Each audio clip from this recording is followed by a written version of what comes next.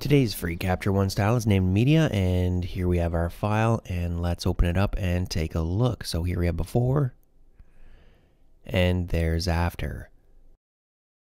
Let's take a look at the full collection here. So I'm going to go to the Preset Pro Bright, open that up, and take a look at some of these. And let's go at the top here.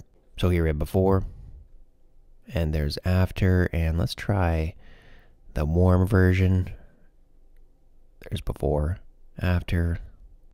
That one's really nice. The boost. And let's try some down here. There's the faded, which is really cool. It drops a lot of the greens. There's before, and there's after. Try the boosted one there, the warm one. And that's probably my favorite right there. Before and after.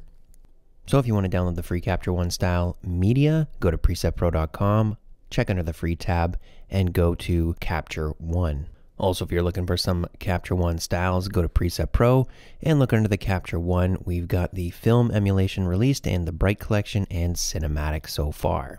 Thanks for watching.